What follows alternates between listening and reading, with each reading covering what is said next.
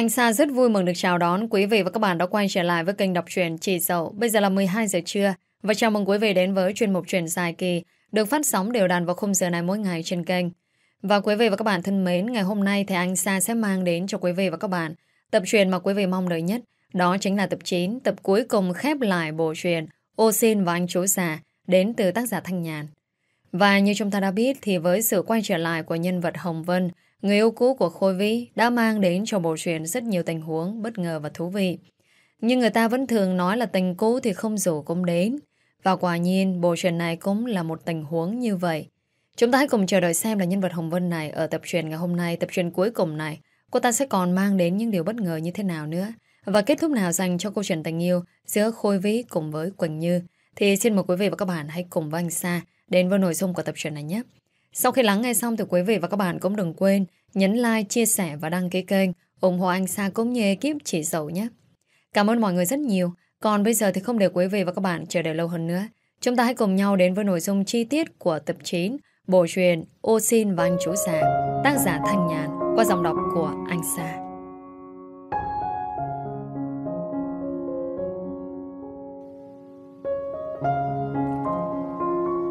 Hồng Vân thấy anh Hoàng quát to, thế nên cởi áo khoác ra rồi đến bật tivi xem. Hoàng thấy như vậy thì lắc đầu. Tại sao lại có cô em gái như vậy làm cho anh đau cả đầu? Hoàng bước lên lầu.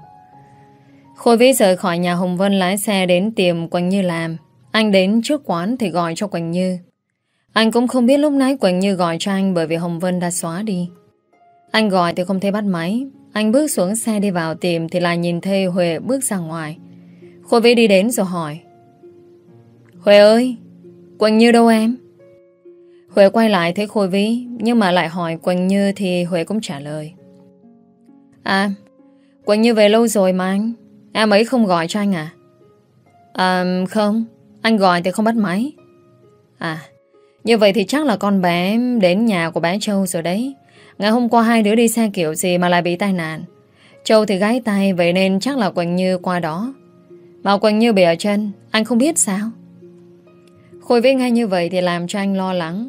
Lúc sáng anh hỏi thì té Nhưng mà không nói tai nạn Rồi lại còn giấu anh. Cho anh địa chỉ Chỗ ở của bá Châu nhé. Uhm, Làm gì vậy à À Anh qua tìm Quỳnh Như. Anh không biết là có chuyện gì mà Quỳnh Như giấu anh như vậy. Tại anh có làm gì có lỗi không đấy? Ngày hôm nay thì em thấy Quỳnh Như cứ như là người mất hồn vậy anh cũng không biết vì sao lại như thế. Thế thì anh đi cùng em. Em cũng đến thăm bé Châu đây. Ừ cảm ơn em nhé. Sau đó thì hai người lên xe rời đi. Tôi về đến phòng trọ của Châu. Nhìn thấy Châu đang cầm củi nấu ăn, Tôi đi đến rồi nói. Tay bị như vậy thì sao mà nấu? Không đợi tao qua nấu cho. Cũng đơn giản thôi mà. Ai lại để cho mày qua đây nấu ăn? Thế rồi người yêu của mày mắng tao thì sao? Cứ mặc kệ đi. Giờ này thì đang bên tỉnh cũ rồi, Không quan tâm đến tao đâu. Ơ, Sao lại nói như vậy? Thế mày với chú ấy có chuyện gì à? Tao thấy là chú ấy yêu mày lắm cơ mà. Nói tao nghe đi, Tao sẽ không kể với ai cả đâu. Mà nhìn thấy mặt của mày cứ kháng từ hôm qua Vào bệnh viện đến bây giờ luôn đấy. Tôi nghe Châu hỏi như thế, tôi đánh xấu Nhưng mà bây giờ trong lòng của tôi bức bối. Muốn nói ra để trong lòng Dễ chịu hơn. Thế hôm qua thì mày có biết là tao thấy gì không? Lúc ở bệnh viện đấy, Tao nhìn thấy Khôi Vĩ đi cùng với Hồng Vân, Bạn gái cũ. Rồi lúc nãy tao gọi, Thì lại nghe tiếng cô ta bắt máy. Thế thì hai người đó không có gì với nhau à? Anh ấy lại còn giấu tao nữa. Anh đã hứa không lừa dối tao cơ mà. Bây giờ thì tao phải làm thế nào đây? Thế tại sao không hỏi thẳng chú đi? Thì lúc nãy tao định gọi hỏi Chứ tao cũng khó chịu trong lòng Nhưng mà gọi thì cô ta lại bắt máy Tao phải làm thế nào đây?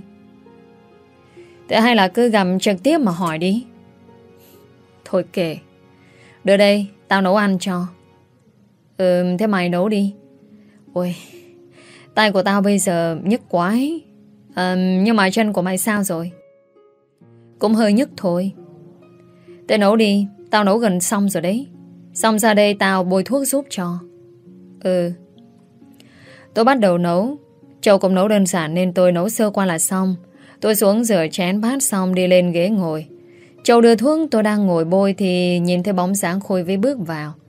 Tôi ngước lên thấy, nhưng mà rồi cúi xuống kéo quần lại. Sau Khôi Vĩ biết tôi mà đến đây, thì chị Huệ đi phía sau bước vào. Châu à, tay em sao rồi? à, Quỳnh Như đến đây sao không nói với chị vậy? Châu trả lời. Tay em cũng hơi đau, nhưng mà bó bồn cơ nửa tháng chị à. Ừ, vậy thì nghỉ ngơi rồi đi làm nhé. Ừ, thế hai đứa đang làm gì vậy? Trái cây đây. Chị đến là được rồi, mang trái cây đến làm gì vậy? Dù gì thì cha em với nhau khách sáo làm gì chứ? Dạ vâng. Tôi thấy Khôi Vy đến, tôi không nhìn anh nữa mà chào chị Huệ, rồi tôi đứng dậy bước vào nhà vệ sinh. Khôi Vy nhìn thấy như vậy thì kéo tay Quỳnh Như lại rồi hỏi. Sao lại giấu anh vậy, Quỳnh Như? Chân em bị như vậy mà em bảo là té à? Nhớ đâu có chuyện gì làm anh lo đấy biết không?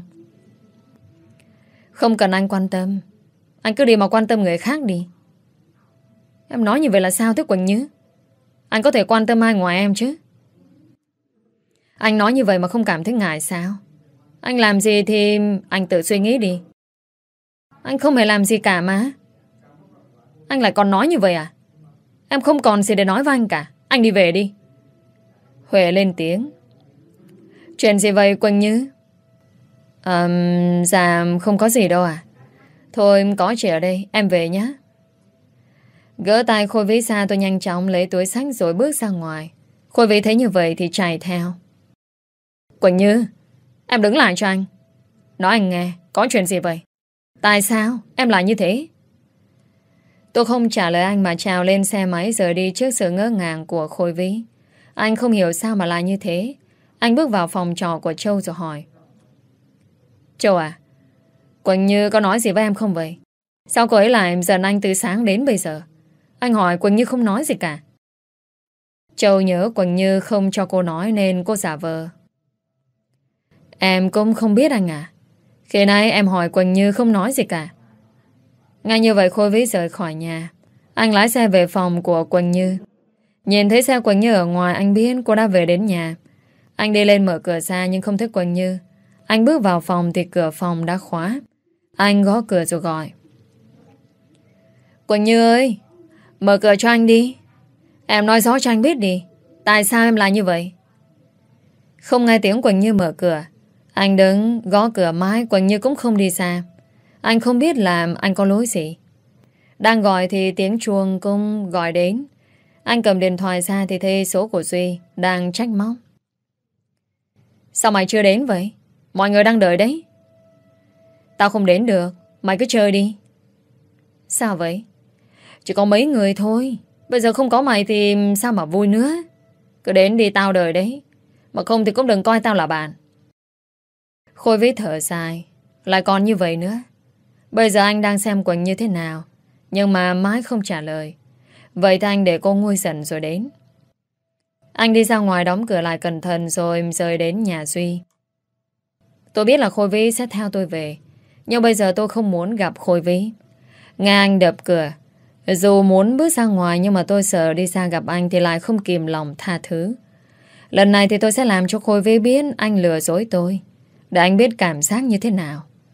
Từ lúc tôi bỏ về Đà Lạt thì hai chúng tôi chưa lần nào giận dối nhau. Nhưng đã nói không lừa dối. Có gì phải nói cho nhau biết. Bây giờ thế này tôi giận cho anh biết. Không còn nghe tiếng gọi thì tôi biết Khôi Vĩ đã rời đi. Tôi ngồi dậy mở cửa không thấy nữa. Dù dần nhưng bây giờ tôi rất đói. Buổi trưa về nghĩ chuyện của Khôi Vĩ, tôi ăn cũng không nhiều. Tôi xuống bếp mở tủ lạnh ra thì thức ăn tôi đã mua hết. Mà bây giờ đi siêu thị mua thì cũng mất công. Pha một chút mì ăn mới được. Tôi vào phòng lấy đồ rồi đi tắm. Khôi Vi lái xe được một đoạn. Nhưng mà anh nghĩ lúc nay đến chỗ trò châu ở thì thấy Quỳnh Như dọn thức ăn ra. Nhưng bởi vì anh đến thì cô ta cũng đã xa về. Ngày hôm kia có nghe Quỳnh Như nói cùng nhau đi siêu thị. Mà ngày hôm nay giận anh. Chắc là lại chưa đi. Anh quay xe lại lái vào siêu thị. Mặc kệ điện thoại Duy gọi đến. Lần này Thanh muốn về nhà hỏi Quỳnh Như vì sao lại giận anh. Bước vào siêu thị anh lừa những gì Quỳnh Như ăn. Anh lừa hết một giỏ đầy kéo ra quầy tính tiền. Bây giờ Quỳnh Như đối với anh là quan trọng nhất. Rồi Thanh nhanh chóng lái xe về. Vừa bước lên phòng anh xách đồ bước vào thì thấy Quỳnh Như đang ăn mì gói ở dưới bếp. Anh đi đến rồi nói. Ơ, sao em lại ăn mì gói vậy? Tôi đang ăn thì bất ngờ thấy Khôi Vi bước vào. Cứ nghĩ Khôi vĩ đi rồi mà bây giờ quay về lại thế này. Tôi nghe Khôi vĩ hỏi như thế nhưng mà tôi cúi xuống ăn không trả lời. Khôi vĩ không thấy Quỳnh Như trả lời. Anh cầm lấy tô mì để qua một bên. Quỳnh Như, em có nghe anh nói gì không vậy? Tại sao? Tỏ thái độ như vậy, nói cho anh biết đi. Em không có gì để nói cả.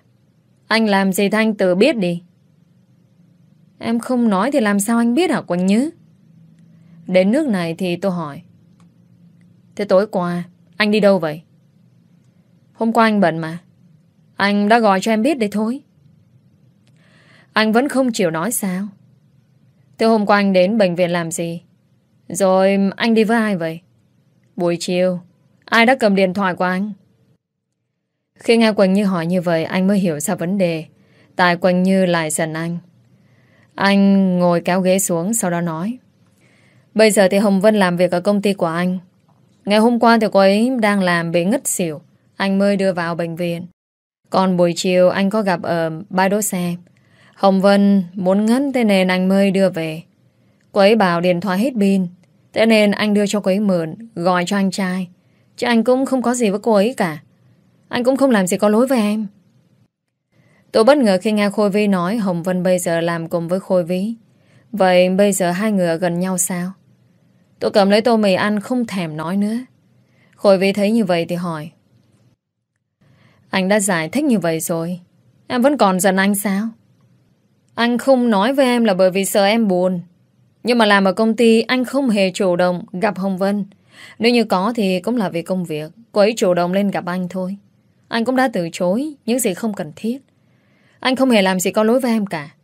Do anh trai Hồng Vân có quen giám đốc ở đó, vậy nên anh cũng không thể nào cho cô ấy nghỉ việc. Quỳnh Như à, em hiểu cho anh được không vậy?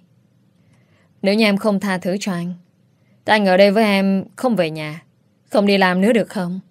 Em nuôi anh cả đời. Thôi mà, anh xin lỗi được không? Tôi nghe Khôi Vy nói như vậy thì ngước lên nói. Anh mà biết lỗi, đã không nói dối em. Anh xin lỗi mà. Anh sợ em buồn thật mà. Anh chỉ yêu mình em thôi. Quanh như của anh là nhất mà. Anh đừng có xến xúa như vậy nữa. Anh chỉ xến với em thôi. Nhá, đừng giận anh nữa mà. Tôi lườm nguyết vào anh rồi đứng dậy, đem tôi ra rửa. Tự nhiên mà khôi vĩ giành lấy. Rửa xong, anh đến bên cạnh Quỳnh Như. Quỳnh Như, em hết giận anh đi. Anh hứa với em, anh không làm gì có lỗi với em cả. Nếu như có thanh cạo chọc đầu cho em xem. Tôi nghe như vậy thì bật cười. Thôi được. Nếu như em mà thấy anh lừa dối một lần nữa, em không tha thứ cho anh đâu đấy. Anh biết rồi. Thế bây giờ em thay đồ đi. Đi đến nhà Duy và anh nhé. Hôm nay làm tiệc mừng con trai. Dù gì thì nó cũng là bản thân của anh.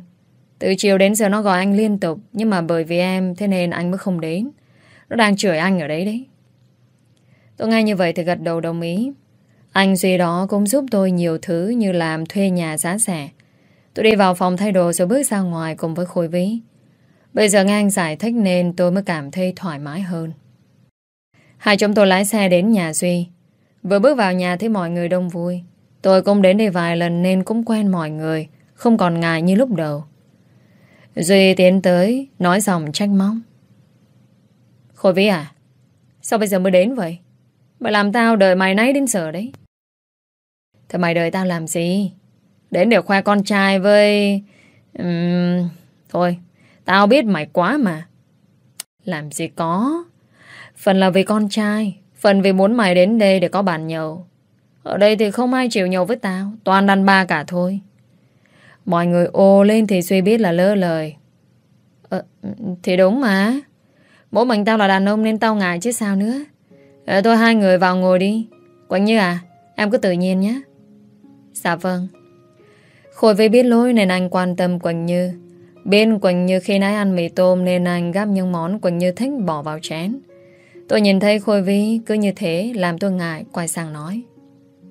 Thôi, Em ăn như vậy được rồi Khi nãy đến đây em có ăn mì tôm cũng no rồi mà anh Thì em cố gắng ăn vào rồi có thằng cu sống như bạn của anh nhé Anh nói cái gì vậy Mọi người nghe bây giờ đấy Mọi người cũng đã nghe Chỉ cười, Nhưng mà biết tôi ngại nên cũng ngỏ lơ. Suy lên tiếng. Không cần ngại gì cả. Ở đây toàn đẻ trước cưới sau thôi, Có gì đâu mà ngại ngúng Cứ thử trước còn hơn, Thế nên em cứ bình thường nhé. Nghe Duy nói, cả bàn bật cười to. Về biên tính Duy nên ai nấy cũng không để ý đến nữa. Tôi quay sang hỏi vợ của anh Duy. Chúc mừng chị nhé. Ừ cảm ơn em. Chị có ăn được nhiều không à? cũng được em à. à Thế hai người khi nào cưới đấy? Khôi Vy thì cũng lớn tuổi rồi. Cưới nhau là vừa đấy em à Tôi quay sang nhìn Khôi Vy đang nói chuyện với Duy Thì quay lại nói với vợ của anh Duy. Em vẫn chưa sẵn sàng chà Tuổi em kết hôn sớm quá chà Nhưng mà Khôi Vy cũng có tuổi rồi. Yêu nhau, hiểu nhau, không cần tuổi tác. Miễn sao sống với nhau hạnh phúc là được. Em là người hiểu chuyện nên hai người cưới sớm cũng không sao đâu. Nhưng mà em sợ gia đình anh Khôi với không đồng ý. Chuyện đó cứ tính sau chị ạ. Đời người con gái chỉ có một lần. Nếu như gặp người đàn ông như Khôi Vĩ thì em hay sư lấy. Khôi Vĩ trời thân với anh xác của chị. Chị cũng biết phần nào tính cách của Khôi Vĩ. Khôi Vĩ chiến chắn hơn chồng chị nhiều. Vậy nên em cứ tiến tới hôn nhân là vừa. Dạ vâng, em cảm ơn chị nhiều. Ừ, thế thôi em ăn đi nhé. Duy quay sang hỏi. Này, thế ai người nói xấu gì tôi đấy? Nói xấu anh thì cả đời cũng không hết. Ngồi đây cứ nghĩ nói xấu không à? Anh uống ít thôi, say ra đấy thì không ai chăm đâu. Sao em lại nói như vậy? Chồng em mà em không lo lại lo cho ai à? Lo chăm anh đi. Mai mốt cũng cưng ra đời. Em không lo được anh đâu đi nhé. Càng mừng ấy. Để tôi ngồi đó, em đi gọt trái cây cho mọi người. Tôi nghe vợ anh Duy nói như vậy Thì cũng đứng lên. Đi theo, chứ bây giờ ngồi không thì cũng buồn. Tôi đi theo sau, Đứng gọt trái cây rồi đem lên Thì nhìn thấy mặt khôi ví đỏ gai. Tôi đến bên cạnh quay sang anh nói, Anh uống ít thôi, Anh say lắm rồi đấy. Khôi ví nghe Quỳnh Như nói như vậy Thì anh đặt ly rượu rồi nói với Duy, Tao không uống nữa, Nghỉ đi, Bữa sau uống. Thế mày sợ người yêu như thế á? Nhậu một hôm say một hôm có sao đâu. Quỳnh như để thằng bạn của anh say một bữa đi. À, Thế không thì em uống đi. À, Mày nói như vậy không sợ vợ mày cho ra đường ngủ Rồi qua nhà tao à? Duy ngay như vậy nhìn sang vợ Thấy đang trừng mắt về phía Duy Nên quay sang nói. Thế vậy thôi nghỉ Lần sau đến nhậu tiếp nhá. Ok mày. Mà thôi tao đưa Quỳnh Như về đây Cũng muộn rồi. Ừ về đi. Khôi Vĩ đứng lên chào mọi người. Tôi thấy như vậy cũng chào mọi người rồi Rời khỏi nhà anh Duy ra về. Vừa về đến nhà tôi quay sang nói. Anh về nhà đi. Em lên nhà trước mai gặp nhé. Anh có thể nào ngủ lại đây được không? Anh muốn ở đây. Bây giờ anh say quá. Nhưng mà mà anh biết sẽ trách em đấy. Anh về đi. Ngày mai gặp được không? Nghe em nhé. Um, Để thôi anh về. Buổi sáng anh qua chở em đi làm nhé. Dạ vâng. Thế anh về cẩn thận. Đến nhà thì gọi cho em biết với nhé. Ừ. Em yêu ngủ ngon nhé. Đóng cửa cẩn thận, anh về đây. Dạ vâng chúc anh ngủ ngon à Nói xong thì tôi bước xuống xe. Lên nhà tôi đóng cửa cẩn thận Rồi bước vào phòng lấy đồ ra thay. Vệ sinh cá nhân rồi bước lên phòng. Nằm một hồi thì nghe tiếng chuông điện thoại của Khôi Vĩ Thì tôi biết anh đã về đến nhà. Nói vài giây rồi cũng tắt máy đi ngủ. Sáng hôm sau thức dậy dọn dẹp nhà rồi tranh thủ giặt quần áo. Nhìn đồng hồ trang khôi vi cũng sắp đến. Tôi nhanh chóng thay đồ. Đang thay đồ thì nghe tiếng chuông ở bên ngoài. Nếu như là khôi vĩ thì anh đã có chìa khóa. Mà bây giờ mới sáng, ai lại đến vào giờ này vậy? Mở cửa ra thì thấy anh Huy. Tôi mời vào nhà rồi hỏi. Ôi, hôm nay sao đến đây sớm vậy? Anh học nghề xong rồi Đến chào em rồi ngày mai anh về quê luôn. Vậy à anh? Vậy anh đợi em chút nhé. Em gửi tiền về cho nồi giúp em với à? Ừ Mà lát nữa rồi đưa. À Quỳnh Như này. Em ở trên này sống hạnh phúc nhé. Anh thấy Khôi Vy rất yêu em. Nếu mà có chuyện gì Thì điện thoại về cho anh. Đừng vì tình yêu mà tự làm khổ mình. Bây giờ thì anh xem em là em gái. Cứ như lúc xưa là anh vui rồi. Dạ vâng Em cảm ơn anh. Em cũng coi anh như là anh trai mà. Cảm ơn anh đã dành tình cảm cho em. Ừ Ở trên đấy, Ăn uống đầy đủ nhé Cứ yên tâm. Anh về sẽ có gì anh qua giúp nổi Cho nên đừng lo lắng gì cả. Dạ vâng ạ. Em cảm ơn anh nhiều lắm. Thế anh nói nổi giúp em nhé Gần Tết thì em sẽ về. Ừ Thế thôi gửi gì thì đưa đây. Anh về thu xếp đồ rồi ngày mai Anh về dưới. Dạ vâng Tôi nhanh chóng đi vào phòng mở tủ ra lấy tiền tích góp hàng tháng. Lấy một nửa đưa cho anh Huy. Xong rồi anh Huy ra về thì lát sau Khôi Vĩ cũng mở cửa vào nhà. Tôi quay lại. Anh đến rồi sao? Có mệt không? Lần sau không được uống như vậy nữa đâu đấy. Anh biết rồi. Mà anh vừa thấy Huy. Cậu ta đến đây làm gì vậy? À, anh Huy đến nói ngày mai về quê rồi. Đến chào em rồi về thôi. Vậy à? Vậy Thanh cũng đỡ lo. Lo gì à? Thôi chúng ta đi ăn sáng rồi đi làm đi anh. Thì là đỡ đi một đối thủ đấy. Tôi bật cười nói. Lại thế nữa. Anh Huy nay cũng nói với em, Bây giờ coi em là em gái rồi, Anh cũng yên tâm đi. Nhưng mà vẫn lo. Anh sợ em cho anh già rồi đi nữa thì sao? Anh già mà lắm gái theo như vậy cơ mà Nay làm cùng Hồng Vân thì ai lo hơn ai đi nhỉ? Anh nói chuyện này cho em nghe. Cô ấy bị ung thư sai đoạn cuối. Ung thư giả dày đấy. Ôi, ừ, ăn uống sao mà để bị như vậy? Ừ, như vậy chắc là anh lo lắm nhỉ? Khôi với ngay như vậy cúc vào đầu của Quỳnh Như. Vâng, anh lo lắm. Mà lo cho em ấy được chưa? Ờ, Tôi đi ăn sáng nào. Mà em này, Cuối tuần này công ty anh ăn tất niên. Em tranh thủ đi cùng anh nhé. Thôi em ngại lắm. Toàn nhân viên bên anh sao em đi được? Thế thì anh đi với Hồng Vân nhé. Ê em đi. Anh mở cùng Hồng Vân thì đừng có mà nhìn mặt em nữa. Nào dám đi đâu Rồi lại dần dối anh nữa à? Tôi lườm nguyết anh rồi im lặng để anh lái xe. Khôi Vĩ đưa tôi đến quán ăn sáng gần đấy để ăn. Đang ăn thì gặp Nhã Uyên đi vào. Từ lúc tôi gặp ở siêu thị Thì hôm nay tôi mới gặp lại. Đã đi đến đây còn gặp Nhã Uyên. Không biết là Nha Uyên còn muốn phá gì đây. Nha Uyên và bà đi đến quán phở nổi tiếng. Không ngờ là nhìn thấy Khôi Vĩ Cùng với con nhỏ đó cũng đến đây ăn. Nha Uyên đi đến. Anh cũng đến đây ăn sao? Bọn em ngồi cùng được chứ? Ừ ngồi đi. Một lát sau đó nhân viên mang phở ra Thì Khôi Vĩ làm hết. Đem ra về rồi đưa tô phở cho tôi, Thì Nhã Uyên lên tiếng. Quỳnh như sướng nhỉ Được anh Khôi vĩ chăm sóc thế thì còn gì bằng nữa. Ăn mà cũng không cần đồng tay. Từ một người giúp việc lên thành phố Bây giờ sướng nhỉ Khôi vĩ ngay như vậy thì nói. Nhã Uyên, Em mà còn nói như vậy thì qua kia ngồi ăn giúp anh đi. Chứ không phải ngồi cùng để em nói như vậy. Anh đã nói bao nhiêu lần, Vẫn như vậy sao nhá Uyên anh quan tâm người anh yêu, Thì có gì sai? Em không có quyền gì mà nói những câu như vậy. Lo ăn đi, Anh cũng ăn đây. Nha Huyền nghe như thế có một chút tức giận, Nhìn sang Quỳnh Như đang nhìn, cười đều. Nha Huyền nhìn không được mà nói. Cô hài lòng rồi chứ? Ờ Chị nói gì vậy tôi không hiểu. Tôi đang ăn không thể nói chuyện được. Phiền cô để tôi ăn.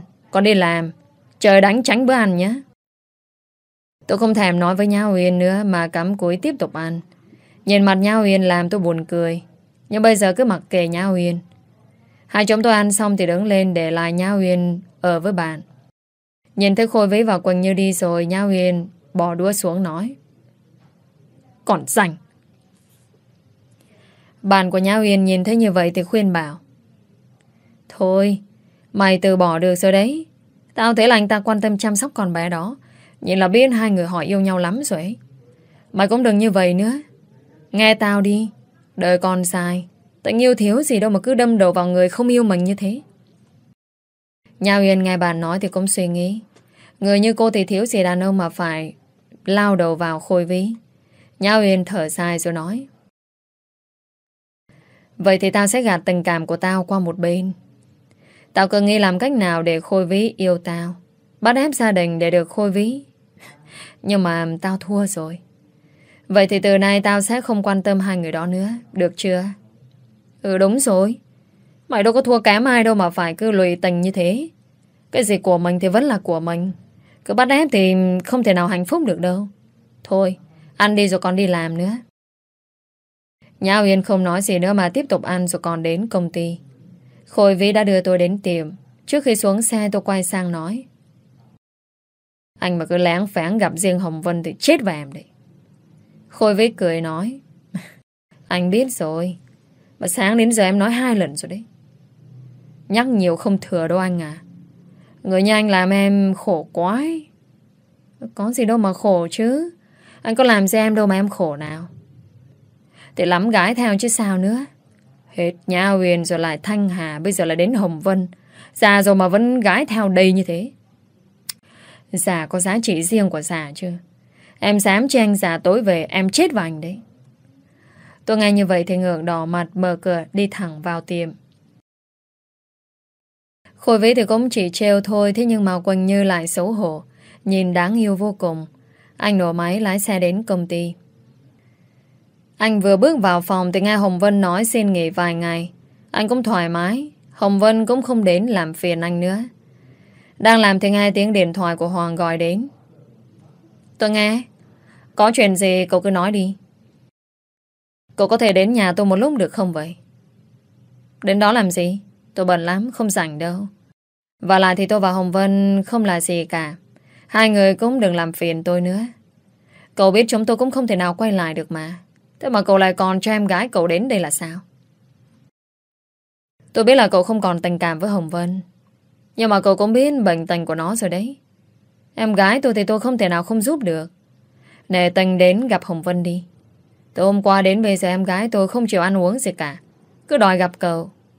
Nốt hôm nay thôi tôi sẽ khuyên bảo nó Không làm phiền đến cậu nữa được không? Tôi không rảnh đâu. Vì cô em của cậu Mà làm người yêu của tôi giận nhau đấy, cậu biết không? Chào cậu, Tôi đi làm đây. Hoàng đang định nói thêm Nhưng Khôi Vĩ đã tắt máy. Anh thở dài khi cô em gái Vì người đàn ông như vậy Mà trở nên lao đao. Cũng bởi vì đòi đi du học sang bên đó học, Rồi lại còn ăn chơi nhậu nhiều Đến nỗi bây giờ dạ dày bị như vậy. Mà anh không giúp thì không chịu ăn. Anh đành nhờ bạn của Khôi Vĩ Hỏi thông tin người con gái Khôi Vĩ đang yêu là ai. Có được địa chỉ anh đứng dậy đi ra ngoài lái xe đến địa chỉ đó Vừa đến nơi thì thấy một tiệm spa Anh bước vào rồi gọi có ai ở trong này không? Tôi đang ở bên trong dọn dẹp thì nghe tiếng đàn ông ở bên ngoài. Tôi nhanh chóng chạy ra thì gặp người đàn ông hôm trước. Tôi hỏi. Anh tìm ai ở đây? Hoàng nhìn sang thì thấy cô gái đanh đá ấy hơi bất ngờ, nhưng mà vẫn lịch sự hỏi. Cô làm ở đây à? Chúng ta có duyên với nhau nhỉ? Mà cho tôi hỏi có cô Quỳnh Như làm ở đây không vậy? Là tôi. Anh gặp tôi làm gì? Tôi nhớ là chưa cho anh biết tên cơ mà. À, thì ra là cô sao? Cô là người yêu của Khôi Vĩ à? Tôi nghe như vậy thì hơi bất ngờ. Anh ta là ai mà lại biết tôi là người yêu Khôi Vĩ? Tôi nói. Tại anh hỏi tôi có chuyện gì không vậy? Cô ngồi xuống đây. Tôi có thể nhờ cô một việc được không? Tôi nghe như vậy thì mời anh ta ngồi xuống rồi hỏi. Thế anh nói đi. Tôi và anh có gì mà nhờ vậy? Cô có thể nói Khôi Vĩ gặp em gái tôi một lát được không vậy? À, hóa ra anh là anh trai của Hồng Vân à? Nhưng mà tại sao lại đến đây? Rồi là còn bảo tôi nói Khôi Vĩ đến gặp em gái của anh. Anh không cảm thấy vô lý à? Từ khi nào bạn gái lại phải cho người yêu đi gặp người yêu cũ thế? Lần đầu tiên tôi thấy đấy. Tôi biết như vậy là không đúng. Em gái của tôi, Giai đoạn cuối, Không biết có thể sống bao lâu. Bây giờ em ấy không chịu nữa, Chỉ muốn gặp Khôi Vĩ. Tôi xin cô đấy, Giúp tôi nhé. Bao nhiêu tiền thì tôi sẽ đưa cho cô. Anh nghĩ là tôi thèm tiền Mà phải đi bán người yêu Để qua gặp người yêu cũ à? Nếu như muốn thì anh đi nói với Khôi Vĩ. Nói với tôi để làm gì? Thôi, Tôi không muốn nói nữa. Phiền anh về cho, Để tôi còn làm việc. Quỳnh Như, Cô giúp tôi lần này thôi. Lần sau thì tôi sẽ không cho em gái tôi gặp Khôi Vĩ được không? Lần này nó gặp để nó đi chữa bệnh thôi. Tôi cầu mong cô giúp tôi với. Tôi nghe như vậy thì cũng cảm thấy xuôi lòng. Nhìn thấy Hồng Vân bệnh thì tôi cũng cảm thấy tội nghiệp cho cô ấy. Vẫn còn trẻ mà đã bị bệnh như vậy. Tôi suy nghĩ nếu như Khôi Vĩ gặp Hồng Vân một lát, chắc có lẽ cũng không sao. Tôi bây giờ tin Khôi Vĩ sẽ không lừa dối tôi được. Tôi quay sang nói. Được. Tôi chỉ cho Khôi Vĩ gặp một lần. Còn nếu như có thêm một lần nào nữa, Tôi không tha lỗi cho anh đâu.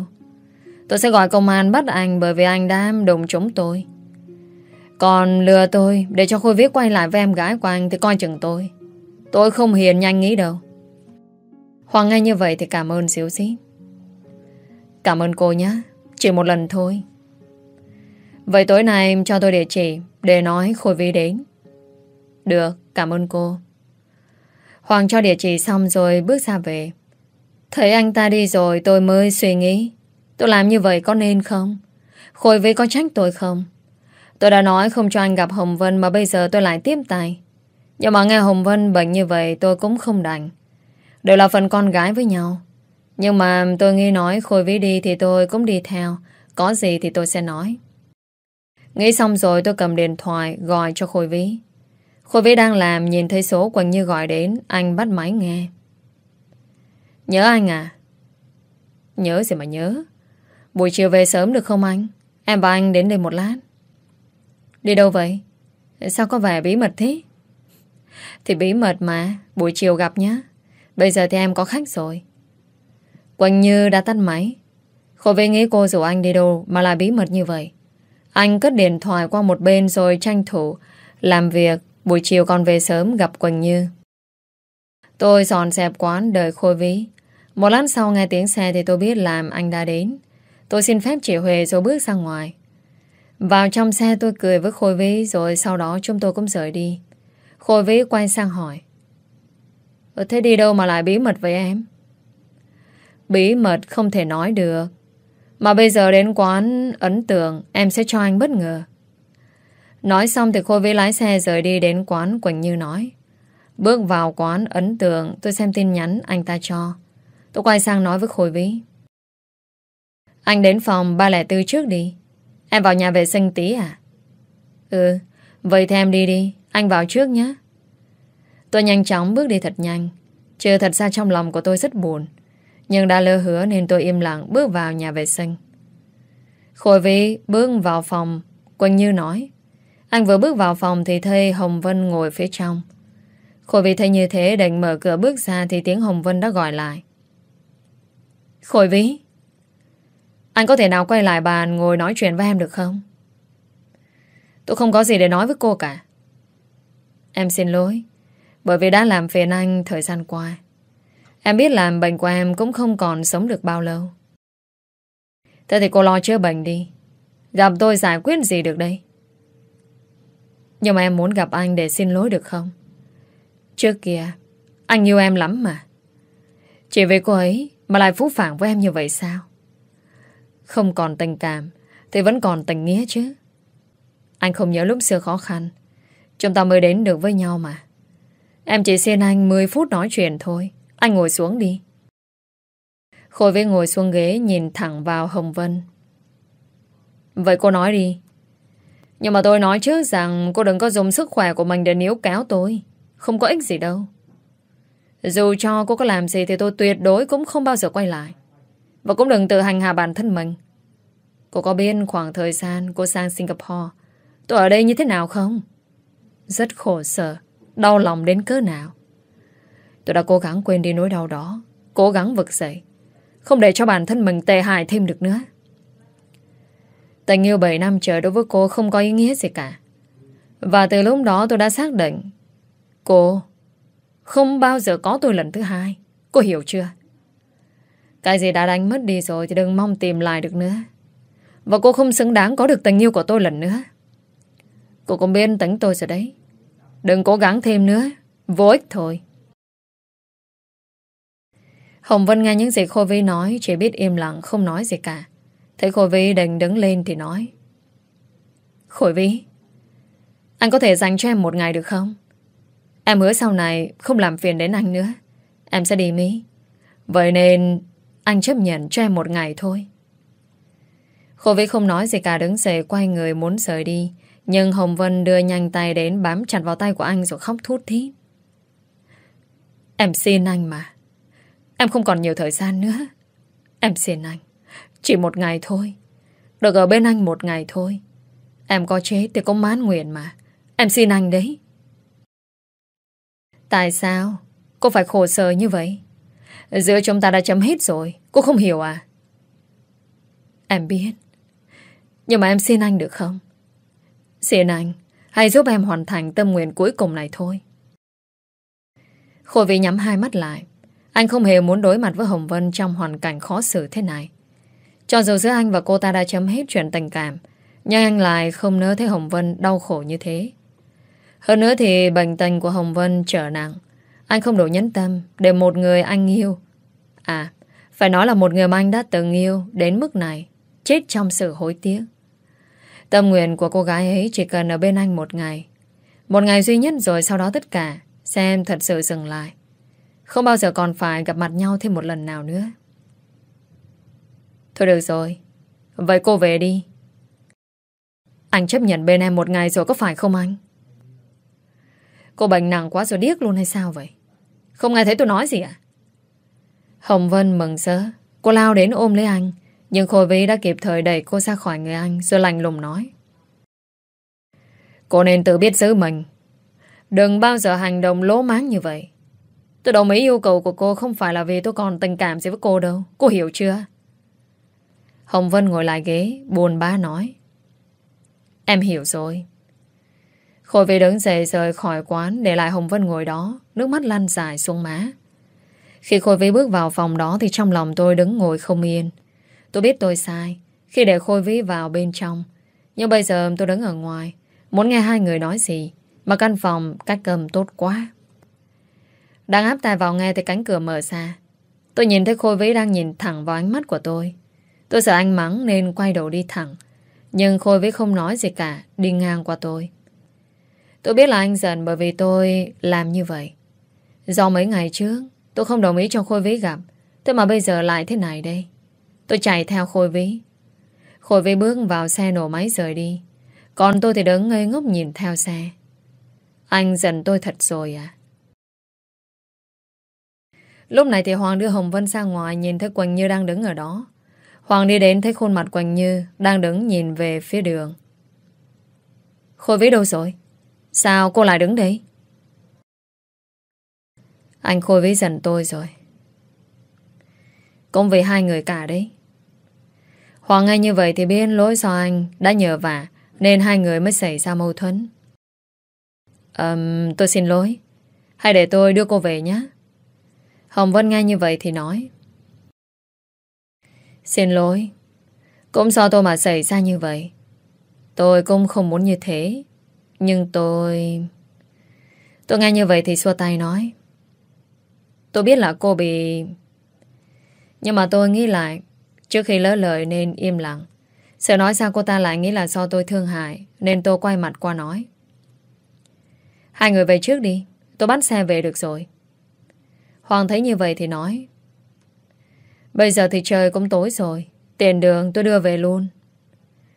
Tôi nhìn ngoài đường xe cổ cũng đông, Bắt xe về cũng khó, Vậy nên tôi đồng ý. Đang định bước lên xe thì nghe tiếng Khôi Vĩ Từ đằng sau bíp còi. Khôi Vĩ bỏ tôi lại Mà bây giờ anh quay lại làm tôi bất ngờ. Tôi đứng im thì Khôi Vĩ bước đến. Không quen, Tụi em cũng lên xe như vậy sao? Anh bỏ em về mà. Tại em không biết lỗi gì hay sao vậy? Tôi cúi gầm mặt, Sau đó nói. Em biết, Nhưng mà em giúp anh thôi mà. Em như vậy được sao? Còn không mau lên xe về. Nhưng mà sao em lại lên xe Hoàng? Hai người biết nhau à? Lúc này tôi định nói thì Hoàng lên tiếng. Mấy hôm trước, tôi có đồng xe của ấy. Khôi với ngay như vậy thì nói. Thế hóa ra cậu là người đâm xe vào cô ấy Cũng may cho cậu là bạn gái tôi không sao đấy. Chào cậu, tôi về. Khôi Vĩ không nói nữa mà cầm tay Quỳnh như ra xe. Hồng Vân nhìn theo hai tay bám víu vào váy. Nhìn thấy xe Khôi Vĩ rời đi thì Hoàng quay sang nói. Em hài lòng rồi đấy. Hãy từ bỏ đi. Anh biết vì sao Khôi Vĩ yêu cô gái đó đến như vậy. Em thấy đấy. Dù anh mới biết, nhưng anh cảm thấy cô ấy là một cô gái lương thiện. Nếu là em thì có cho người yêu gặp người con gái khác không? Em biết rồi. Em sẽ từ bỏ. Nhưng mà Khôi Vĩ sẽ bỏ ra một ngày dành riêng cho em. Hoàng bất ngờ quay lại. Đừng có nói là em lấy sức khỏe ra để làm như vậy nhé. Đúng. Nhưng mà trước khi rời đi, em không biết có sống được không? Em muốn bên Khôi Vĩ lần cuối không được sao? Anh tưởng hôm nay anh đã giúp em gặp được Khôi Vĩ, Mà bây giờ em lại như vậy. Anh đúng là hết nói nổi với em đấy. Ngồi trong xe, tôi không dám nói gì. Nắm chặt tay sợ Khôi Vĩ sẽ mắng tôi. Nhưng mà anh vẫn im lặng. Tôi không thể nào chịu đựng được sự lành lùng của anh thêm nữa. Em xin lỗi. Biết có lỗi, Thế mà còn đưa anh đến đó. Bí mật của em là như vậy à? Lúc trước giận anh về gặp Hồng Vân, Bây giờ đưa anh đến gặp. Em hay thật đấy. Nhưng mà cô ấy bệnh như vậy Cũng là con gái nên em cảm thấy tội. Nhưng bây giờ Em tin tưởng anh nên em không sợ. Em hay đấy. Có phải là Hồng Vân đến gặp em không?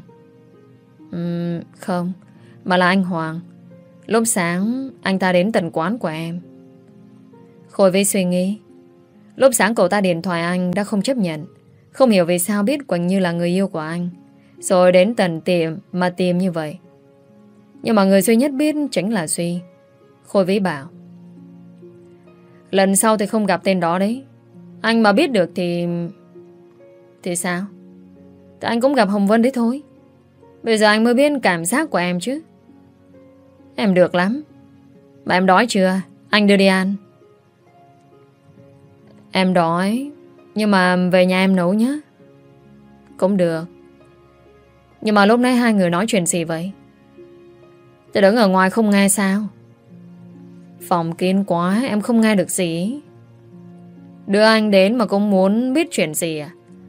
Hồng Vân muốn anh dành thời gian một ngày cho cô ấy. Như vậy em có chấp nhận không? Anh đã đồng ý. Cô ấy sẽ sang Mỹ chữa bệnh.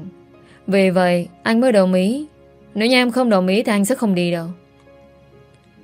Thế nếu như em không đồng ý thì sao Nhưng mà thấy cô ấy bệnh như vậy, Em cũng cảm thấy tội lắm Thế nếu như vậy thì hôm đó Em đi với anh nhé Dạ vâng Dù không thích nhưng mà bệnh tình cô ấy như vậy, Tôi cũng không thể nào ích kỷ được Chúng tôi lái xe về nhà rồi tôi nấu ăn cho Khôi Vĩ Mấy hôm nay vì giận anh nên tôi cũng không nấu gì cả. Chúng tôi ăn xong thì Khôi Vĩ trở về nhà. Tôi cũng lấy đồ đi tắm rồi trở lên giường ngủ. Thời gian trôi đi thật nhanh, mới đó đã đến cuối tuần. Hôm nay cũng là ngày Khôi với hẹn gặp Hồng Vân.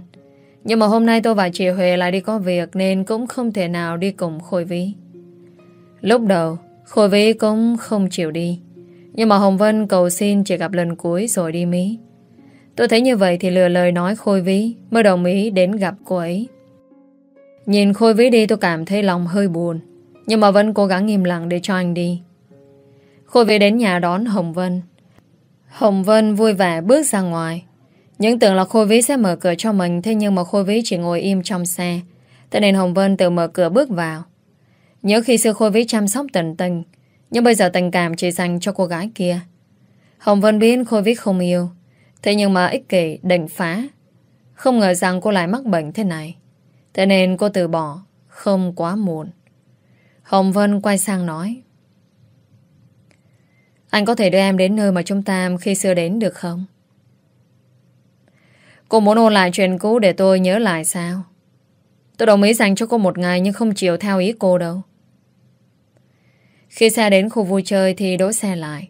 Anh suy nghĩ lại và cuối cùng thì vẫn quyết định làm theo ý Hồng Vân, nốt hôm nay. Lúc xưa còn yêu hai người cũng hay đến nơi này. Hồng Vân thấy như vậy thì vui vẻ nói. Anh vẫn còn nhớ nơi này à? Cảm ơn anh. Chỉ nốt hôm nay thôi. Lần sau thì đừng phiền tôi nữa. Dạ vâng. Hai người bước xuống xe. Hồng Vân nhớ lại những gì khi xưa hai người hay chơi. Khôi Vĩ chỉ im lặng chứ không nhìn gì về phía Hồng Vân. Bây giờ chị nghĩ Quỳnh Như chắc đang ghen ở nhà. Nghĩ đến Quỳnh Như thì lại khiến cho anh buồn cười. Chỉ có cô gái này là độc nhất vô nhị để cho người yêu đi thế này thôi. Hồng Vân nhìn xa thì thấy Khôi Vĩ đứng cười. Cô cơ nghĩ anh cưới với Hồng Vân nên cô không chơi nữa mà chạy ra Khôi Vĩ, anh chơi cùng em được không? Không, tôi không thích. Thế anh ăn kem không? Em đi mua nhé. Lớn rồi, tôi không ăn. Uhm, nhưng mà em muốn ăn. Thôi được, cô ngồi đây đi, tôi mua cho. Hồng Vân nghe như vậy thì vui mừng nói. Cảm ơn anh. Khôi viết quay đi, tiến về phía trước. Anh nhanh chân bước đến nhưng mà lại không chú ý ô tô phía sau đang tiến đến. Rồi thì dầm một tiếng. Nghe tiếng xe tai nạn thì mọi người chạy đến. Lúc này đã có một vông máu. Khôi vĩ nằm trên đất. Máu từ trong người của anh vẫn không ngừng chảy ra. Hồng Vân từ xa chứng kiến tận mắt chiếc xe ô tô kia đâm vào người Khôi Vĩ khi anh đi sang đường. Hồng Vân lao đến, đỡ lấy anh. Miệng thì không ngừng cầu cứu sự trợ giúp từ những người có mặt để ai đó có thể gọi giúp Hồng Vân một chiếc ô tô cứu thương đến đây. Nếu không sẽ không kịp cứu Khôi Vĩ. Chứng kiến anh chịu đau đớn thế này, trái tim Hồng Vân như quản đau. Là do cô mà anh lại thành ra như thế. Khôi Vĩ à, cố lên anh. Anh đừng ngủ mà. Nhìn em đi, em xin lỗi. Khôi Vĩ đau đớn.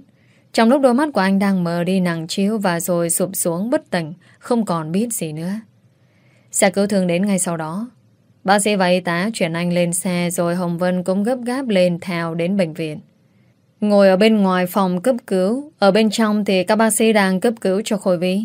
Đang cố gắng giúp anh, kéo anh từ tay thần chết về với cuộc sống này. nơi mà không lâu nữa tránh Hồng Vân cũng sẽ là người phải đến đó. Nơi đó sẽ ra sao khi không có Khôi Vĩ. Hai bàn tay nắm vào nhau. Hồng Vân thật đang rất lo lắng cho anh. Người mà cô từng yêu. Mong rằng anh sẽ qua khỏi. Chỉ cần anh sống thì đau đớn hãy cứ tìm đến với cô đi. Cô sẽ nhận hết tất cả. Lúc này thì Hồng Vân mới đành thần lại gọi cho Hoàng, giọng run run. Anh ơi, Khôi Vĩ đang cấp cứu. Tất cả là do em hết. Anh đến đây đi, em sợ lắm. Nói xong thì Hồng Vân cứ như là người mất hồn vậy, thả điện thoại xuống. Cô đưa hai tay lên ôm lấy mặt rồi khóc. Hoàng ngay như vậy nhanh chóng gọi cho Quỳnh Như. Tôi đang làm việc thì thấy có điện thoại. Nhìn thấy số của Hoàng thì không biết có chuyện gì đây. Tôi bấm nghe. Chuyện gì nữa vậy? Tức không phải là tôi đã đồng ý cho Khôi Vĩ đi cùng em gái của anh rồi sao? Cô đến bệnh viện nhanh đi. Khôi Vĩ đang cấp cứu ở đấy. Tôi nghe xong thì như xét đánh ngang tai.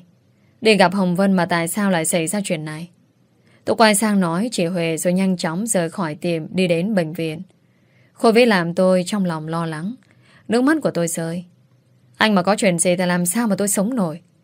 Tôi hối hận bởi vì đã đồng ý cho Khôi Vĩ đi gặp chị ta. Vừa đến bệnh viện, tôi nhìn thấy tên Hoàng đang đứng ở ngoài đời tôi. Tôi lao đến rồi hỏi. Anh Khôi Vĩ ở đâu? Anh đưa tôi đến đó đi. Khuôn mặt của tôi ướt đẫm mồ hôi và nước mắt lăn dài trên má. Tôi rất sợ. Vừa đến nơi thì thấy ba mẹ Khôi Vĩ cùng với Khôi Minh đứng ở đó. Còn Hồng Vân thì ngồi một góc ôm mặt khóc. Tôi chạy đến rồi hỏi. Anh Minh ơi, anh Khôi Vĩ có bị sao không? Khôi Minh nhìn thấy Quỳnh Như khóc thì bước đến an ủi. Em nín đi, đừng có khóc. Bác sĩ đang cấp cứu bên trong đấy. Tôi nghe như vậy thì quay sang Hồng Vân. Tại sao? Tại sao lại như vậy? Tôi để Khôi Vĩ đi với chị cơ mà. Làm sao lại để cho anh ấy bị như vậy chứ? Hồng Vân chỉ biết khóc không trả lời Quỳnh Như. Tôi ngồi sụp xuống thì Khôi Minh đi đến đỡ lấy. Quỳnh Như, em bình tĩnh lại đi. Khôi Vĩ sẽ không sao. Em cứ yên tâm, đừng khóc nữa. Đợi bác sĩ đi xa nhé. Nhưng mà em sợ lắm. Cánh cửa mở ra, bác sĩ cũng bước ra ngoài. Bà Hồng đi đến giọng nói đầy lo lắng. Bác sĩ ơi, con trai của tôi thế nào rồi? Cũng may là cô ấy được đưa vào kịp nên bây giờ cũng không sao. Đợi cô ấy tỉnh dậy. Bây giờ thì mọi người vào thăm. Nhưng mà tránh ồn nào Để cho bệnh nhân nghỉ ngơi nhé Chúng tôi nghe như vậy thì vui mừng Cảm ơn bác sĩ Rồi chúng tôi từ từ bước vào Nhìn thấy Khôi Vĩ nằm ở đó Làm tim tôi đau nhói Ước gì người đó là tôi Tại sao anh đi có một lát thôi Mà lại xảy ra như vậy Tôi đi đến ngồi bên cạnh anh, Nắm chặt tay anh, Mà nước mắt của tôi lăn dài Khôi Vĩ. Anh đau lắm có phải không? Tỉnh lại với em đi anh. Bà Hồng đi đến. Nhìn con trai của bà bị như vậy, Tim của bà đau lắm. Khôi Vi mà có thế nào thì bà cũng không sống nổi. Nhưng mà nhìn thấy Quỳnh Như khóc như vậy Thì bà cũng cảm thấy đau lòng cho con trai. Nhưng hôm nay tại sao lại đi cùng Hồng Vân? Bà bỏ tay chồng xa rồi bước ra ngoài. Hồng Vân cũng muốn bước vào để xem Khôi Vi ra sao. Thế nhưng mà cô chỉ đứng chôn chân tại chỗ. Lỗi là do cô, Nếu như không cầu xin Khôi Vi đến gặp cô, Thì cũng không có chuyện gì rồi. Đang suy nghĩ thì má của cô nóng sát. Nhìn lên thì thấy mẹ của Khôi Vi Bà Hồng lên giọng rồi nói. Tại sao? Cô lại gặp con trai tôi. Lúc xưa cô bỏ nó đi. Bây giờ quay lại. Giờ lại để con trai tôi thành ra như vậy. Cho dù thế nào đi chăng nữa, Tôi cũng không chấp nhận cô. Bây giờ Quỳnh Như mới là con sâu của tôi. Từ bây giờ trở đi Cô tránh xa con trai tôi ra. Ờ, Cháu Cháu xin lỗi cô.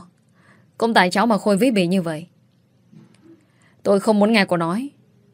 Vì cô mà con trai tôi khổ đến như thế Bây giờ nó có hạnh phúc mới Tôi có lại quay về đây. Thôi cô đi về đi. Con trai của chúng tôi Chúng tôi tự lo được. Chỉ mong cô đừng gặp lại con trai tôi nữa.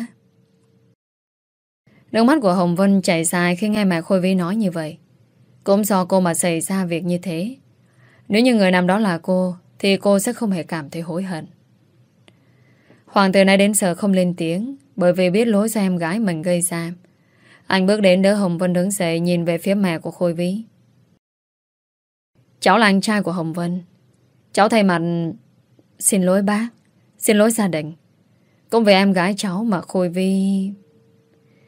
Thôi, cậu đưa em gái của cậu về đi. Tôi không muốn nói gì nữa cả. Lần sau tôi mà gặp thì đừng trách tôi đấy. Dạ vâng. Chào bác cháu đi. Rồi thì Hoàng đưa Hồng Vân rời đi. Tôi không chịu về chỉ muốn bên cạnh Khôi Vĩ. Dù anh chưa tỉnh tôi vẫn muốn bên cạnh anh. Tôi cũng có lỗi trong chuyện này. Bà Hồng nhìn thấy Quỳnh Như không chịu về Bà đi đến rồi nói. Quỳnh Như à Cháu về nghỉ ngơi đi. Bác ở đây cũng được. Tôi ngước lên nhìn bác Hồng rồi khóc. Cũng tại cháu, Mà anh Khôi Vĩ bị như vậy. Cháu muốn ở bên cạnh Khôi Vĩ. Xin bác cho cháu ở lại đây được không ạ? Khôi Minh đi đến vỗ vai Quảng Như. Nếu như muốn ở lại đây Thì về lấy đồ đã. Bác sĩ nói anh Khôi Vĩ sẽ không sao. Em nghe đi. Về nhà thay đồ ăn uống, Có sức thì mới chăm anh Khôi Vĩ được. Tôi nhìn qua bác Hồng, Được cái gật đầu nên tôi yên tâm đứng lên Theo Khôi Minh về nhà. Khôi Minh đưa Quỳnh Như về nhà. Lấy đồ dùng của Khôi Vĩ rồi trở lại bệnh viện. Vừa đến thì nghe tiếng bác Hồng nói trong đó. Tôi cứ nghĩ Khôi Vĩ đã tỉnh lại, Nhưng mà anh vẫn chưa tỉnh, Làm tôi thất vọng. Một lát sau đó ba mẹ Khôi Vĩ về nhà Bởi vì có tôi và Khôi Minh ở lại. Tôi lấy khăn lau cho anh. Khôi Minh từ bên ngoài bước vào Cầm cháo trên tay đưa cho Quỳnh Như. Cháo của em đây Anh đi còn có sức chăm sóc cho anh trai nữa. Anh ấy sẽ tỉnh sớm thôi. Nhưng mà em không muốn ăn. Bây giờ em chỉ mong Anh Khôi với tỉnh dậy thì em mới yên tâm được. Anh ấy sẽ tỉnh thôi. Cứ nghe anh đi. Anh trai anh mà tỉnh dậy thì em không ăn Thì sẽ buồn đấy. Những lúc mở nhà không thấy anh trai anh, Cứ nhắc em mai đấy. Còn muốn lấy em về làm vợ, Nên em cứ ăn đi. Tôi nghe như vậy thì không ngờ Anh yêu tôi đến như thế. Cầm tô cháo lên ăn Thì bụng tôi khó chịu. Nhanh chóng đặt tô cháo xuống Rồi chạy vào nhà vệ sinh nôn sạch sẽ. Từ từ bước ra thấy Khôi Minh nhìn về phía tôi. Em sao vậy Quỳnh Nhứ? Cháo anh mua thơm phức thế mà. Um, Hay là hôm nay Đã ăn gì à? Um, Không Em không ăn gì lạ cả. Khôi Minh nghe như vậy thì nói uh, Hay Em có thai rồi? Tôi nghe như thế ngài ngùng nhìn qua bên Khôi Vĩ đang nằm. Nếu như tôi có con thì Khôi vĩ tỉnh dậy vui lắm. Nhưng mà trời dám chăng tôi đã có thai. Tôi trả lời. Chắc là không phải đâu. Em cũng chỉ là khó chịu như vậy thôi. Đang ở bệnh viện đấy Em đi khám luôn đi. Nhưng mà bây giờ khám cũng muộn Nên tôi nói. Um, Thế để ngày mai em đi cũng được à? Ừ Thế nếu như có thì mừng quá. Thì là anh sắp có cháu bế rồi um, Nhưng mà nếu không phải thì sao? Nhưng bây giờ anh đợi anh Khôi với tỉnh lại đã anh à? Anh với sẽ tỉnh thôi. Mà em không ăn thêm chút đi. Um, Tí nữa em ăn à? Bây giờ em muốn ngồi cùng Khôi với. Khi nào anh ấy tỉnh thì em mới yên tâm được. Anh về đi. Em sẽ chăm sóc anh ấy. Ngày mai anh cũng còn phải đi làm. Khi nào anh ấy tỉnh lại em sẽ gọi cho anh. Đang nói thì nghe tiếng gõ cửa bên ngoài. Khôi Minh đi ra mở cửa thì nhìn thấy Duy bước vào. Khôi Vi có nặng lắm không em? Cũng mày đưa đến sớm thế nên không sao. Thời gian này Cũng cần phải nghỉ ngơi nhiều. Bây giờ vẫn chưa tỉnh lại. Nghe Khôi Minh nói thì Duy quay sang nói với Quỳnh Như. Nhưng mà tại sao Khôi Vy lại như vậy? Có phải là tại anh không? Hôm qua Khôi Vy còn gọi trách anh sao lại cho địa chỉ của em cho Hoàng. Anh xin lỗi nhé. Là lỗi do em anh à? Nếu như em đi cùng thì cũng không xảy ra việc như vậy. Bây giờ em chỉ mong anh ấy tỉnh lại thôi. Nói xong thì tôi đứng lên đi ra ngoài Mua ít đồ cho Khôi Vĩ. Bây giờ trong phòng chỉ còn Khôi Minh và Duy. Đang nói chuyện thì Nhìn sang thấy Khôi Vĩ mở mắt ra. Khôi Minh mừng chơi đi đến. Ờ Anh tỉnh rồi sao? Để em gọi bác sĩ. Khôi Vĩ chỉ im lặng nhìn xung quanh. Anh không biết vì sao mình lại ở đây. Chỉ nhớ lúc ở công viên Lúc anh đi mua kem cho Hồng Vân, Thì chiếc ô tô lao đến Làm anh không tránh kịp. Nên bây giờ anh ở đây.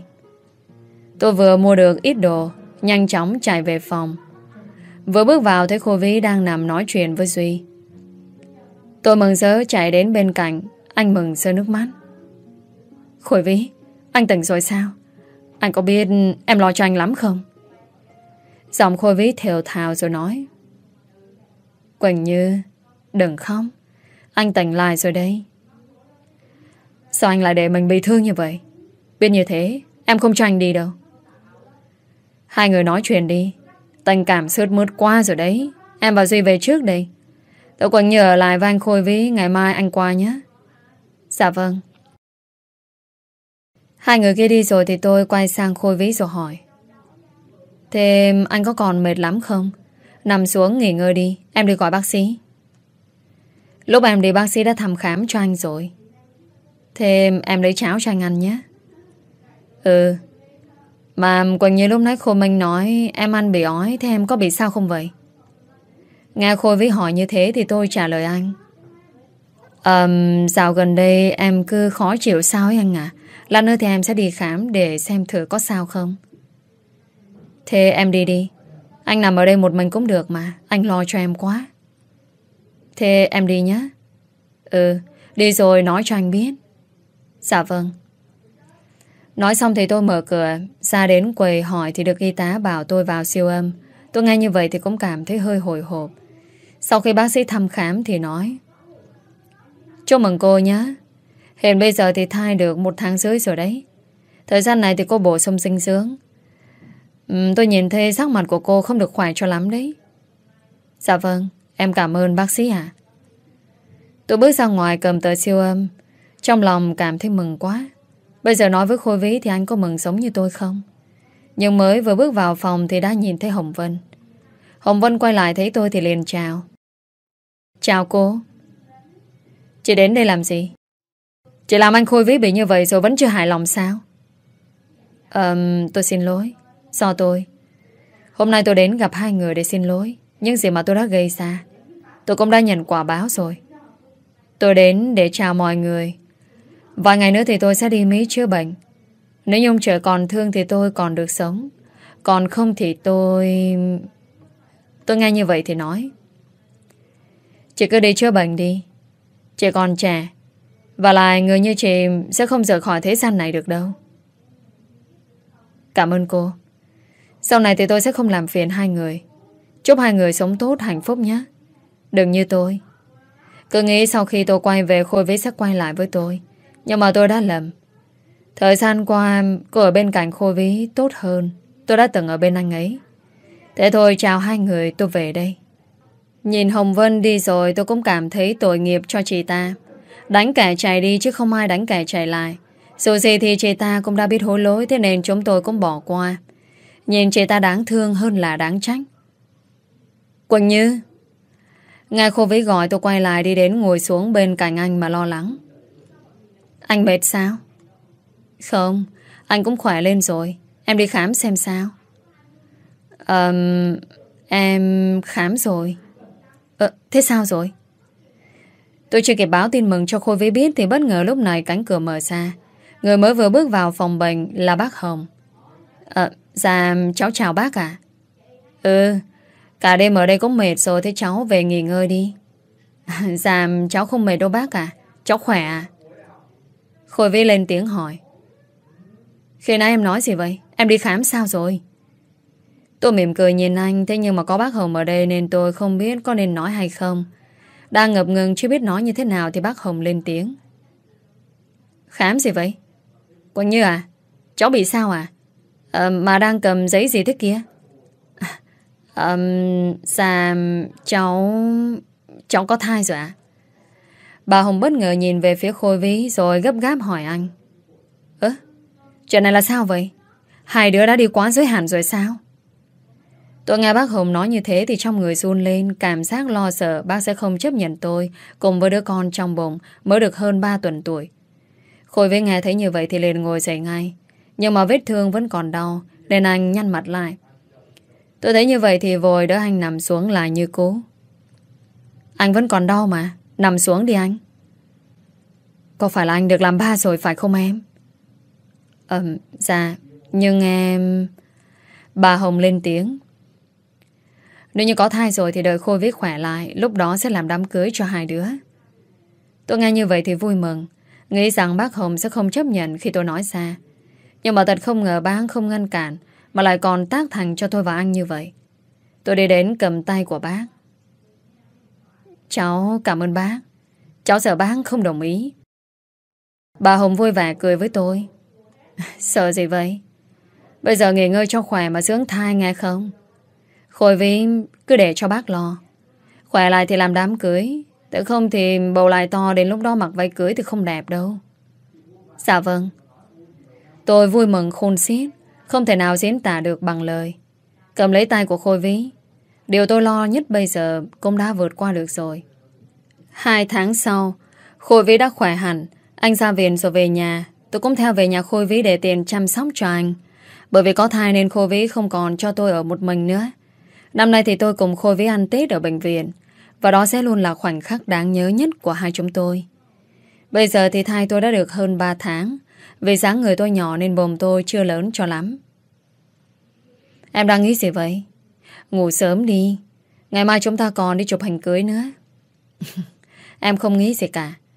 Uhm, Chúng ta chụp hình ở cổng thôi. Em không muốn dườm già mệt lắm.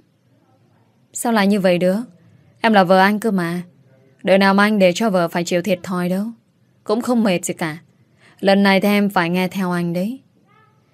Dù chưa cưới Nhưng mà gia đình bác Hồng cũng tâm lý lắm. Để hai chúng tôi ở chung một phòng Tiền chăm sóc cho nhau. Tôi ôm lấy khôi ví mà ngủ một giấc thật ngon. Sáng hôm sau thì hai chúng tôi đành đi chụp hình cưới. Chuẩn bị đi thì gặp Nhã Uyên đang đi vào trong. Cô ấy bây giờ cũng không còn là cô gái ích kỷ như xưa nữa. Nghe nói bây giờ đang quen anh công an nào đó Rất bảnh trai, tài giỏi thì phải. Nhã Uyên đi đến trước mặt hai chúng tôi rồi hỏi. Hai người đi đâu đấy? Khôi Vĩ nhìn sang trả lời Anh và chị dâu tương lai của em đi chụp hình cưới Để cho em đi với Đến xem cô dâu được không? Hay là em cũng làm cô dâu luôn đi? Nhã Uyên cười nói Sang năm thì em sẽ cưới anh yên tâm đi, lúc đó đừng bảo làm em sao nó vội lấy chồng. Thế đi đâu qua đây giờ này vậy? Em đành qua ăn sáng kẽ hai người. Ba mẹ em lại đi du lịch, bỏ em ở nhà. Không có gì ăn đi này. Ê thôi, hai người đi chụp đi. Em vào nhờ Khôi Minh chuyện này đã. Bây giờ Nhã Huyền đã thay đổi, Không còn là cô gái ích kỷ như xưa Có lần hẹn gặp tôi xin lỗi Tôi biết lúc đó Nhã Huyền không còn bướng bỉnh khinh thường tôi như lúc đầu Nên bây giờ Chúng tôi cũng bình thường với nhau hơn. Một tháng sau, Đám cưới chúng tôi tổ chức cũng không quá đông Bởi vì Khôi Vĩ là người không thích ồn nào Sợ tôi đi lại nhiều sẽ mệt Bụng tôi bây giờ đã hơi nhô lên, Nên anh chăm sóc cho tôi rất chú đáo. Buổi tiệc kết thúc, Khách khứa lại chụp hình cùng với tôi và Khôi Vĩ để xa về. Chỉ còn lại bạn bè thân quen của anh là vẫn còn ở lại. Duy lúc này đã ngà ngà say rồi. Chúc mừng mày nhá. Mày lời hài hơn tao tưởng đấy. Giữ được cả châu lẫn nghé thì còn gì bằng nữa. Nếu như con mày chiều lái máy bay Thì tao sẽ gả con tao cho con mày được không? Cả bàn đều bật cười Khi nghe câu nói vừa rồi của Duy. Khôi vĩ lên tiếng. Lúc đó thì mày hãy hỏi, Con trai tao có đồng ý hay không? Chứ tao thì cũng không sắp đặt được. Để tôi cứ về lo đi. Mày say rồi đấy nhá. Tao chưa say. Khi nào tao muốn về thì về. Một người bên cạnh cũng nói vào. Duy à Thế hôm nay không sợ vợ nữa nhỉ Ai bảo là tao sợ vợ vậy? Tao không sợ. Còn chưa nói xong thì tiếng chuông điện thoại của Duy bất ngờ sao lên. Mọi người biết ai gọi đến liền cười phá lên. Ai cũng biết Duy là người sợ vợ. Vừa mới đây to miệng không sợ, Nhưng bây giờ thì gấp gáp rời đi. Làm cho ai nấy đều cười rồi lắc đầu. Sợ vợ thì cứ nhận đi. Vậy mà lại còn la lớn là không sợ. Chiều đến thì mọi người đã về hết Khôi ví, chờ tôi về nhà nghỉ ngơi. Nhưng mà thấy mặt của anh đỏ quá. Biết là anh say rồi Nên tôi để anh lên giường nằm ngủ. Còn tôi lấy đồ đi tắm. Xong xuôi thì tôi bước xuống lầu Thì gặp ba mẹ chồng ngồi dưới. Ba chồng tôi trước đây Từng không chấp nhận, Nhưng bởi vì tôi mang thai cháu nội của ba chồng Nên cũng dần dần hỏi thăm tôi. Vì thế tôi không sợ ba chồng như lúc đầu. Tôi cũng rất mừng Từ người giúp việc mà bây giờ tôi đã làm con dâu của nhà này. Quỳnh Như à Sao không nghỉ ngơi mà xuống đây vậy? Con đói à? Tôi để mẹ nấu gì cho con ăn nhé. Nghe tiếng mẹ chồng tôi hỏi như vậy Tôi đi đến mỉm cười trả lời. Um, Dạ con khát nước mà Khi nãy ở buổi tiệc thì con ăn no rồi à Thế Khôi với đâu sao không lấy nước cho con Mà để con một mình như vậy? À, Dạ con đi lấy cũng được mà mẹ. Mà ba mẹ chưa ngủ sao? Ba mẹ đang nói chuyện. Con tranh thủ nghỉ ngơi đi. Bây giờ ba mẹ đi ngủ đây. Dạ vâng. Nói xong ba mẹ chồng tôi cũng lên phòng. Tôi thấy như vậy thì đi vào nhà bếp lấy nước uống Vừa đi ra ngoài thì nhìn thấy Khôi Minh bước vào nhà Khôi Minh nhìn tôi rồi hỏi Um, Chị Sâu chưa ngủ sao? Tôi có một chút không quen khi Khôi Minh gọi như vậy Nhưng mà theo vai vế gia đình nên tôi ngài gọi Tôi xưng tên Khôi Minh mới về sao? Ừ Em đưa Huệ về nên bây giờ mới về nhà Anh Vĩ đâu? Anh Khôi Vĩ uống hơi quá chén Cũng ngủ say rồi Bây giờ em lên ngủ đây. Thế hai người khi nào thì cưới vậy? Năm sau. Em nhường hai vợ chồng cưới trước đấy. Thế thôi em lên phòng đây. Thời gian trôi nhanh thật. Mới đó mà đã một năm trôi qua. Chồng ơi, Con thức rồi này. Khôi Vĩ đang ngủ thì nghe tiếng vợ gọi. Anh mở mắt ra ôm lấy cô Bin từ tay vợ. Bin quậy lắm đi nhá. Để cho ba mẹ ngủ chứ. Giờ này dậy mà quậy như vậy sao Bin? Nhìn hai con mắt của Bin mở to ra. Nhìn thấy Khôi Vĩ nói Thì thằng nhỏ lại càng cười to. Bin thì rất quấn Khôi Vĩ. Cứ hết về nhà thì hai ba con lại quấn lấy nhau. Cuộc sống hai người từ khi có cô Bin Thì lại càng hạnh phúc. Khôi Vĩ là người chín chắn, Yêu thương vợ con vô bờ bến. Anh mở spa riêng cho Quỳnh Như quản lý. Anh vẫn tiếp tục công việc của mình. Bin thì được bà nội ở nhà trông cùng với cô giúp việc. Chúng tôi định cuối tháng này Cùng về thăm nội. Tiền đi đám cưới anh Huy. Ngày đầu là khi về quê làm Anh Huy quen con gái của ông chủ ở xưởng thì phải. Giờ đây thì ai cũng có hạnh phúc cho riêng mình. Về phần Khôi Minh cũng đưa gia đình đến giảm hỏi nhà chị Huệ. Chúng tôi sắp được làm chị em bạn sâu Nghĩ như vậy thôi mà tôi cảm thấy vui lắm. Hạnh phúc có được khi không phân biệt tuổi tác, gia cảnh. Vượt bao nhiêu sóng gió chúng tôi mới đến được với nhau Là điều đáng trân trọng nhất. Tôi vẫn làm hậu phương vững vàng của Khôi Vĩ trên bước đường đến thành công của anh ấy.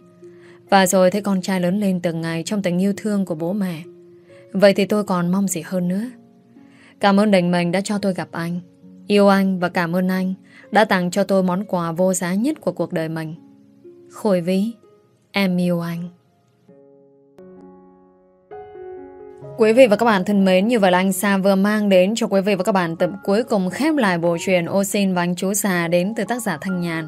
Và với bộ truyền này thì anh Sa tin chắc là đã mang đến cho quý vị và các bạn rất nhiều những giây phút nghe truyền thư giãn, hấp dẫn. À, không biết là giờ phút này quý vị và các bạn có cảm xúc như thế nào thì hãy chia sẻ với anh Sa bằng cách để lại bình luận ở phía bên dưới nhé. Và nếu như quý vị cảm thấy bộ truyền hấp dẫn mang lại một ý nghĩa nào đó thì cũng đừng quên nhấn like, chia sẻ và đăng ký kênh ủng hộ anh Sa cũng như ekip chỉ dầu nhé. Cảm ơn mọi người rất nhiều. Còn bây giờ thì anh Sa xin kính chào tạm biệt Và chúc tất cả quý vị và các bạn một ngày thật nhiều niềm vui. Hẹn gặp lại mọi người ở bộ truyện mới tiếp theo nhé.